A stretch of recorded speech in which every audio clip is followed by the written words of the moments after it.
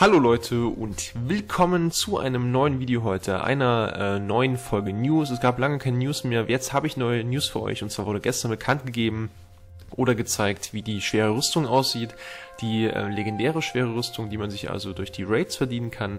Ich persönlich finde sie sehr hässlich, finde aber die Idee cool mit den animierten Rüstungen und hoffe mal, dass wir in Zukunft da auch andere Dinge noch sehen werden, vielleicht auch von ähm, in anderen Bereichen des Spiels mit dieser Animation. Das ist schon eine sehr, sehr coole Idee.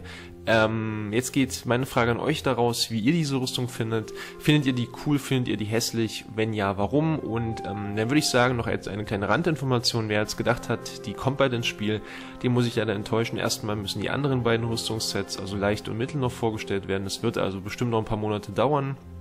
Das steht auch im entsprechenden Blogpost, den ich euch nochmal in der Beschreibung verlinke. Ansonsten war es das schon mit der kleinen News, mehr haben sie dazu eigentlich auch nicht gesagt, nur dass es eben das Alleinstellungsmerkmal ist, dass die Rüstung animiert ist. Keine Farben, keine Glitzereffekte, aber eine animierte Rüstung. Ja, muss jeder für sich selbst entscheiden, ob das einem gefällt. Ich bin dann damit schon mal wieder raus, bedanke mich fürs Einschalten und bis zu dem nächsten Video. Macht's gut.